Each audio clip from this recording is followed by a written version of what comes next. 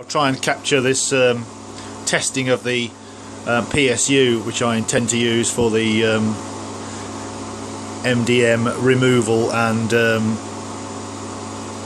replacement for the uh, IMA system so you have a basic alternator function. So uh, we've got the PSU here um, on top of my high voltage power supply. The inputs are at the back for the high voltage and the low voltage output is at the front here. I've just got a uh, voltmeter on the PSU just so I've adjusted it down to 13.8 volts. This is actually a 15 volt 43 amp supply. Came in a nice box. Um, looks like a genuine Meanwell. I got it from Mouser and at the moment I'm feeding it 280 volts DC and it's consuming 1.39 amps as we can see there and um, we're getting basically ignore this voltage, it's not quite accurate, but we're getting 25 amps output for um, 1.39 volts input. So that's not a bad conversion. Obviously, the higher the input voltage, the more efficient or the uh, less current is required to do the conversion. So what I'm going to do is I'm going to just uh, my power supply here can only supply 3.5 amps max. So I'm going to turn the voltage down until it's um, supplying its maximum current, and we'll see how low we can go. So I'm turning the HV down and the supply is still outputting 25 amps. Now that's a now I've turned it down to um, the maximum that this high voltage power supply can supply and we're down to 113 volts now and it's still supplying 25 amps. So what I'll do is I'll just turn the current current demand down a bit and we'll see how see how much lower we can go. So I'll just turn the current down. I'll turn the current down to turn the current down to 10 amps. I'll turn the current down to 15 amps. That gives us a, a So we'll turn the current down to 15 amps, and we're still at 113 volts. So I'm going to continue to go down with the voltage. And still supplying 15 amps. Still supplying, still supplying. So we're down to 80 volts nearly now. There we are, 80 volts, and it's still supplying at 15 amps. I'll just up the current slightly.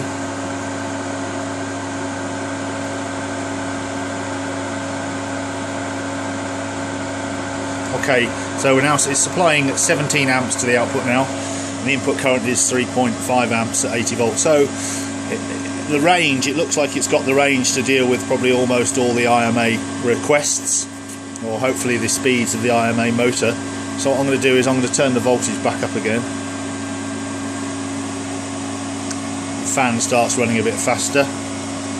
So let's uh, let's imagine the average IMA voltage is going to be what do we reckon 100 and could easily be 170 180 volts so we'll put it we'll try 180 volts certainly for CVTs the voltage could be quite a bit higher so it's pulling 1.52 amps and it's supplying 17 so I'll turn the current up until max out the power supply.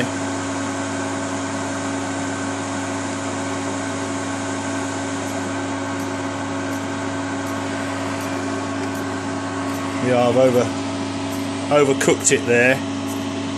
My supply, I uh, tripped out my high voltage supply, and obviously you wouldn't have that with the uh, so I'll have to restart it. Right, we're off again. And the voltage up.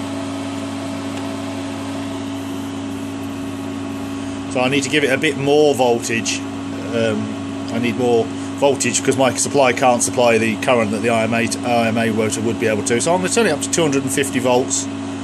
So if you're probably revving the IMA hard, you could be getting this. And we'll crank on the current the supply is uh, powering up. So, oh, I. So, so it's it's supplying 48 amps now, even though it's only rated to 43, and we're supplying it 250 amps. That's uh, sorry, 250 volt input voltage there. So it's got a bit more than it says,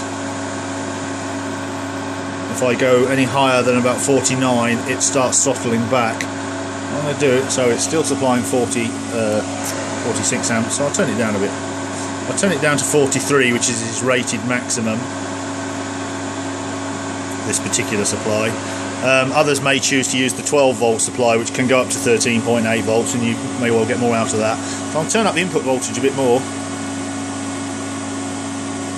because remember this supply is designed for use on 240 volts AC which will easily give over 300 volts um, DC so I'll turn it up to 290 so we're still getting 43 amps. I'll crank up the current again see if it'll go above 49 no 49's 48's about this supply's maximum current. But that'll be still interesting to try that. So there we go. It's chucking out 48 amps at the moment it's accepting 290 volts input. Its um, case is not warm to the touch. Uh, I'll leave it running a bit and it's pulling at 290 volts at 2.64 amps. I'll just write those down. So it's pulling 290 volts 2.64 amps. And it's outputting 13.8 volts at uh, 48.7 amps So there we are, so this is the supply I'm going to use. It's very small, it doesn't weigh much at all. Um, I haven't got any suitable scales to weigh on, but I think the uh, listed weight is 1.5 kilograms. So that's about as much as I can test it really on the bench. It's basically a question of fitting it and uh, seeing how we go. If I turn the voltage, the output voltage down, I'll see if it'll actually supply more current. So what I'm going to do is I'm going to turn the output voltage down to say 13 volts little adjuster here. And we'll just crank up the current and see if it'll supply more current. No it'll still only supply 49 volts at the maximum 49 amps at the maximum this particular supply. But that's still about um, 4 or 5 amps over its rated over its rating. So I'll turn it back up to 13.8 volts. 13.8 volts is a nice sweet spot for the uh, Honda 12 volt system.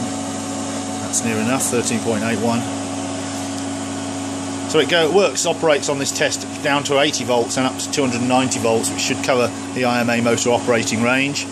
We just add the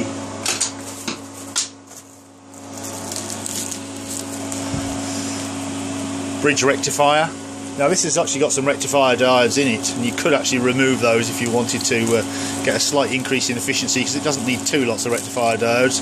It needs the special three phase rectifier uh, to bring it down to the uh, current that we're going to put into the back. So there we are at the minute. Still, I'll just crank it up a bit. I'm going to leave it soaking at 48. Just, I'll leave it running at 48 amps for a bit and we'll see what uh, what it does and obviously this is my electronic load here. So I hope that's proved interesting. A bit too waffly I know but I think you get the gist of it. The power supply looks to be a good unit and uh, it's putting out more than its rated power at the moment